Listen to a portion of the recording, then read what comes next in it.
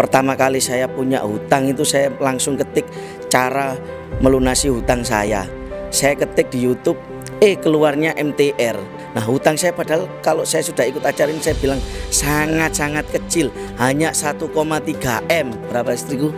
1,3 M. 1,3 M. Tadinya itu sebelum saya ikut acara ini, jumlah itu bagi saya sangat besar. Luar biasa besar, hingga saya sampai putus asa.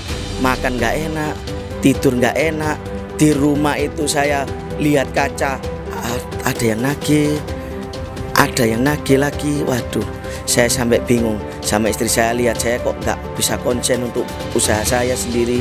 Sampai stres. Ibu saya juga bingung lihat saya. Tadinya tidak punya utang tapi sekarang punya utang. Nah untuk ikut acara TBI ini untuk berniat hijrah benar-benar hijrah untuk semua apa yang kita lakukan itu semuanya ternyata salah. Jadi dengan hadirnya di acara ini imun saya bertambah bahkan. Dan insya Allah kesehatan itu juga akan hadir di saat kita imun bertambah dalam diri kita sendiri.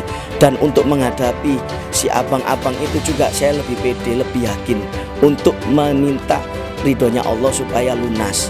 Dan tadi saya sama istri berazam. Bahwa saya hadir di sini berazam tanggal 25 Juni tahun 2021 hutang kami senilai 1,3 M lunas dan dibayar cash